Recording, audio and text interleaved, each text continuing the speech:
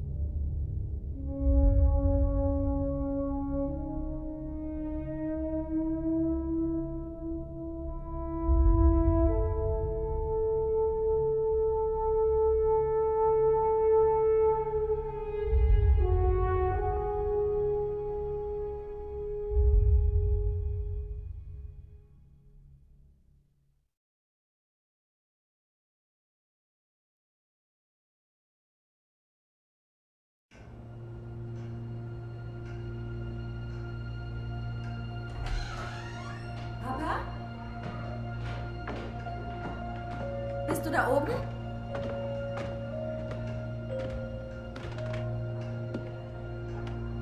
Alles in Ordnung? Wir können jetzt den Kuchen anschneiden.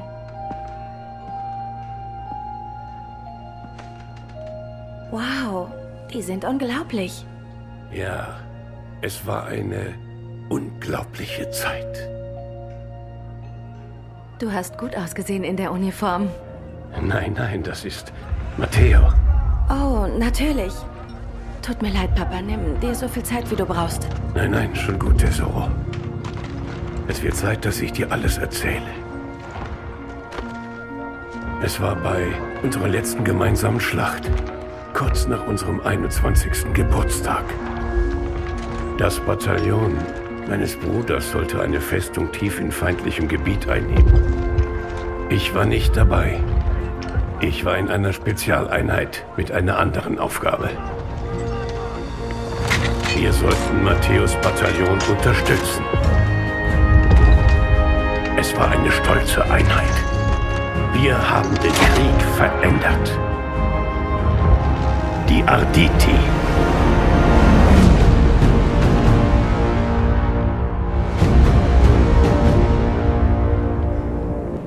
Oh la vittoria! Oh tutti accompati!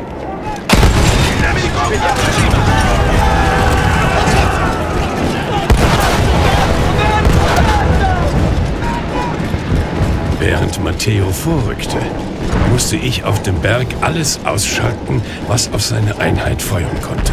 Ich habe schon Angst um dich, wenn ich nur die Geschichte höre. Keine Sorge. Ich hatte eine Art Rüstung an, wie ein Ritter auf dem Schlachtfeld. Außerdem waren die Arditi stolze Freiwillige. Für Italien hätten wir alles getan. Am Anfang des Weges stand eine Kirche, in der sich feindliche Truppen verschanzt hatten. Die musste ich zuerst ausschalten.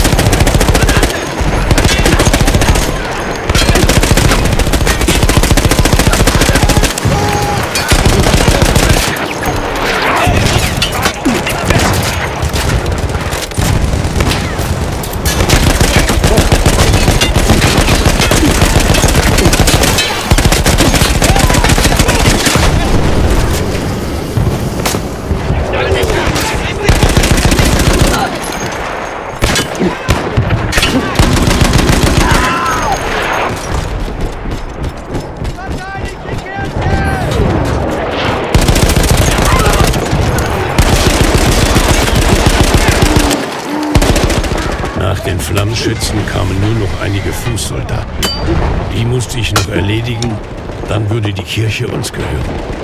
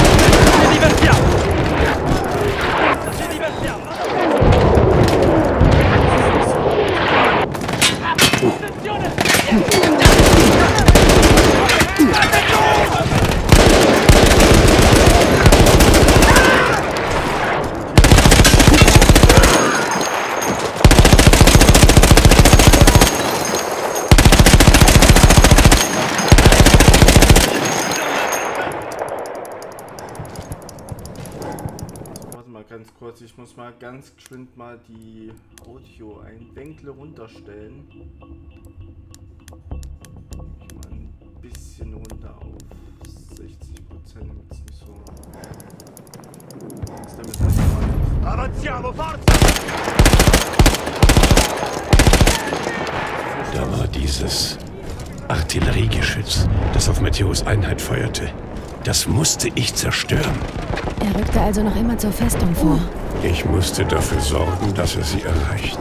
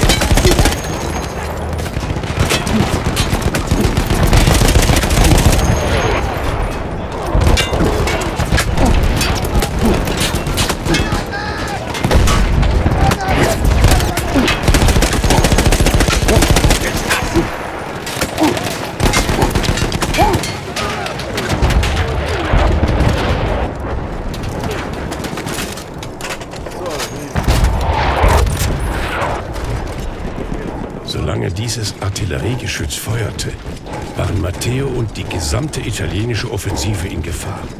Ich musste es einfach ausschalten. Ja, das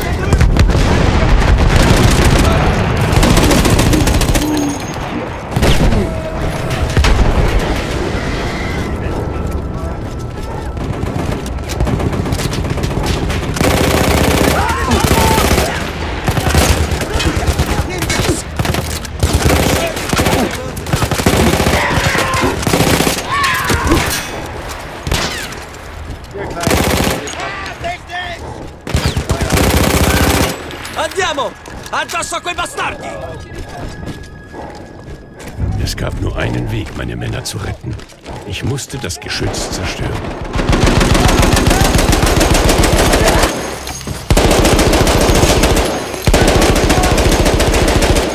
Komm her.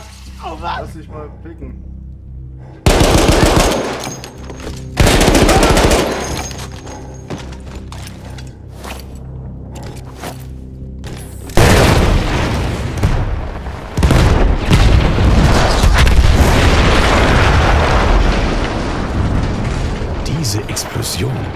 War für mich einer der schönsten Anblicke des ganzen Krieges. Aber noch war es nicht vorbei. Denn da war dieses Flugabwehrgeschütz auf dem nächsten Bergrücken, das unsere Flieger abschoss. Das war mein nächstes Ziel.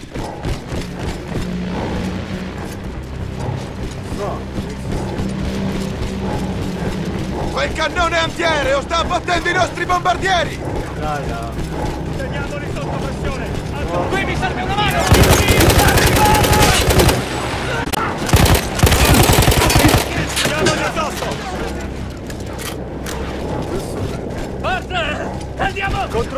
Ich musste zuerst die österreichische Besatzung des Geschützes ausschalten, um es selbst benutzen zu können.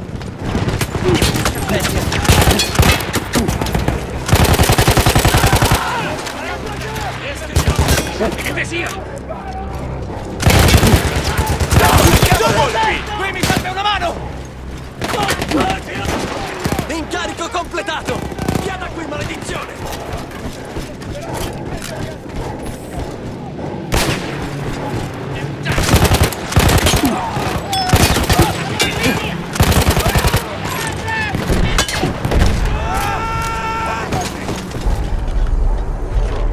Ich tötete den letzten Mann, aber dann hörte ich etwas, das ich nie vergessen werde. Sie visierten Matthäus Einheit unter mir an. Also tat ich das einzig Mögliche. Ich stand allein gegen ein Geschwader feindlicher Bomber. Musste sie alle vom Himmel holen.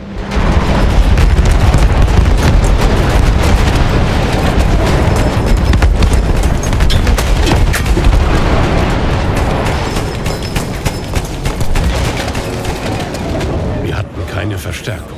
Wären diese Männer gefallen, wäre unser Vormarsch zum Erliegen gekommen. Und ich hätte Matteo verloren.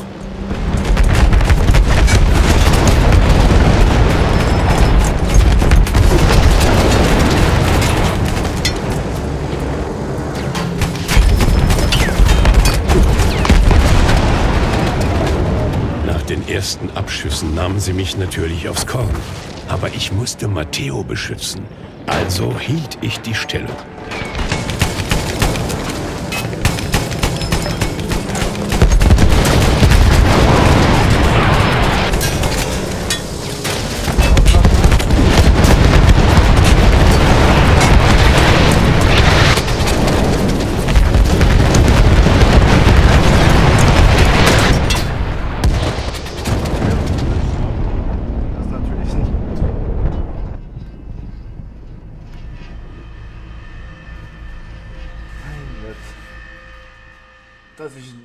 Sterbe, Ich stand allein gegen ein Geschwader feindlicher Bomber.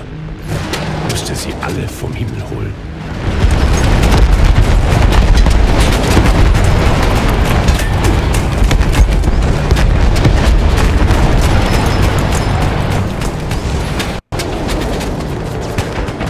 Wir hatten keine Verstärkung. Wären diese Männer gefallen, wäre unser Vormarsch zum Erliegen gekommen. Und ich hätte Matteo verloren.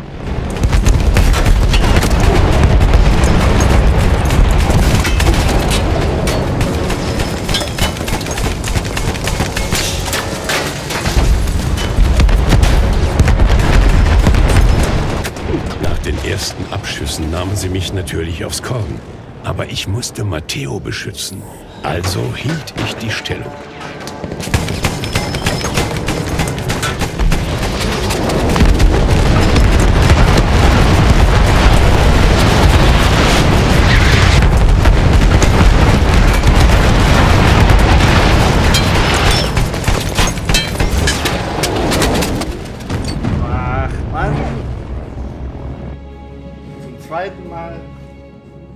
Mal so, so eine so eine Dings, äh, so eine Tote irgendwo einblenden. Ich stand allein gegen ein Geschwader feindlicher Ja, Bomber, ich. musste sie alle vom Himmel holen.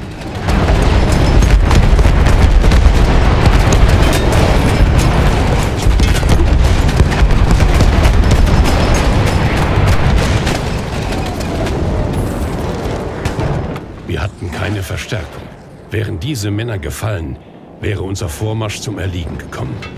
Und ich hätte Matteo verloren.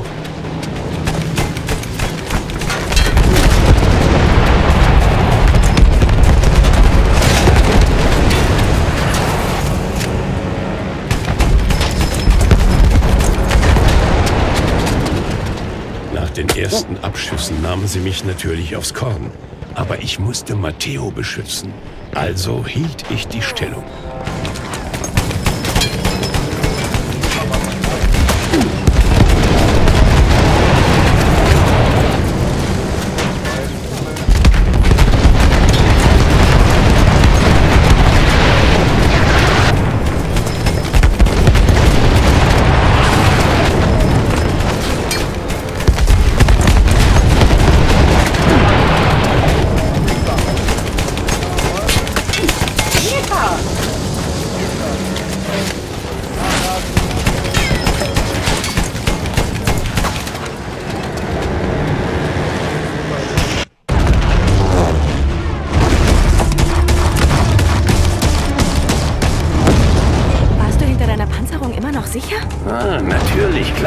Kam nichts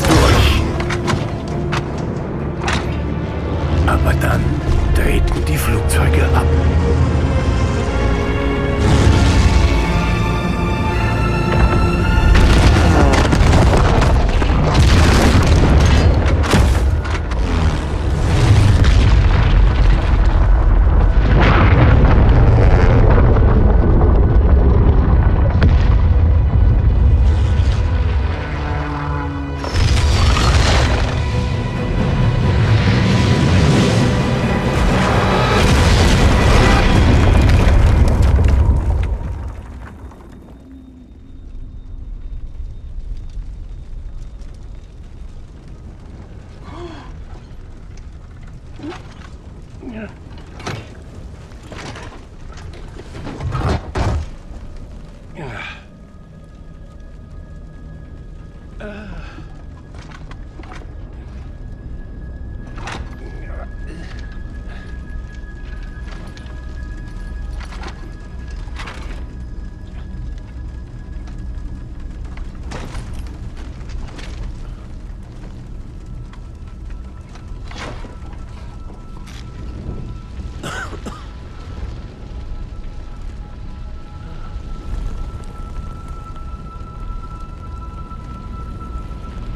Als ich aufstand, dachte ich, ich wäre gestorben und in der Hölle. Sie haben den Berg gesprengt, haben uns und sich selbst begraben. Oh Gott, Matteo. Ich musste ihn finden. Also ging ich runter in diese Hölle. Ich hatte keine Wahl. So, auf geht's. Zum Matteo. Das sieht ja wie ein äh,